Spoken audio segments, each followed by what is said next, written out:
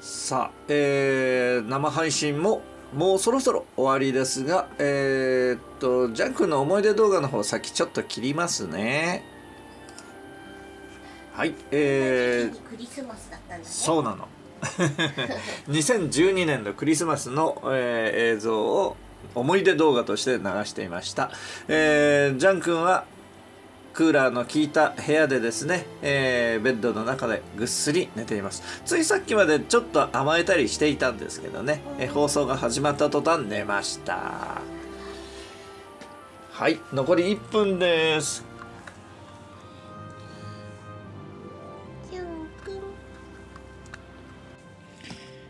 ポンちゃん。今日はすごい暑いけどこれからもうすぐ4時になって夕方なのでちょっと町田まで買い物に行ってきます。すぐ戻ってきます。じゃねはいジャン君もちょっとの間だけ、えー、お留守番お願いします。じゃあねよいしょ。えーエレガットギターですね、えー、こちらのエレガットギターこれは昼用、えー、先輩にいただいたのは夜用ということで これは音がちょっと大きいやつですね、えー、どちらも、え、それぞれの使い方をこれから模索しています、え、オープンマイクとえー、フォークソング同好会のあ、まあ、発表会ですね。を、えー、その2台で経験しまして、えー、動画の音なんかをチェックしてみたりしているんですが、え、少しずつ少しずつ、えー、なんか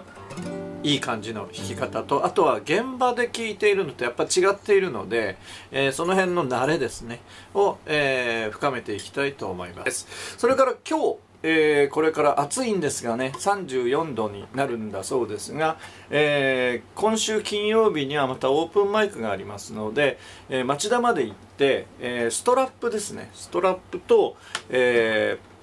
カポ。え、やっぱガットギター用のカポというのが必要なそうです、え、それをちょっとえ、っとねおしゃれなのが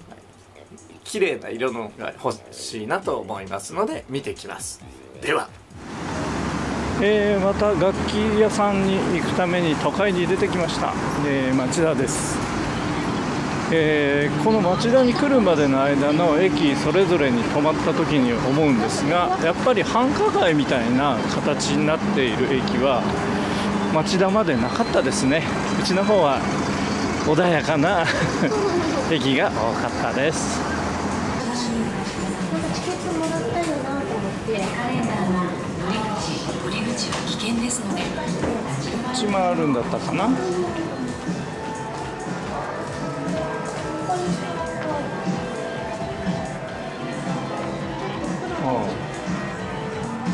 まあまた聞いて、うん、ここですここです。この中です。こんな首に巻いたの、うん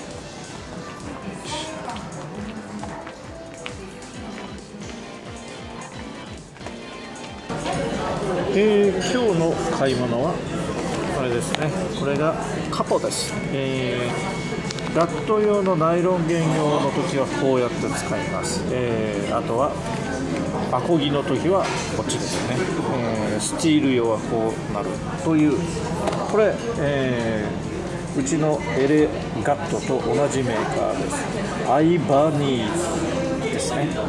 それからこれはまあ割と簡単なストラップですね。あのストラップをつけた状態でも演奏できるようにちょっと練習します。だからこれは PC に使おうと思って、えー、本当はどっかにあるはずのシールドですけど、えー、2 m っていうのがあったので今日は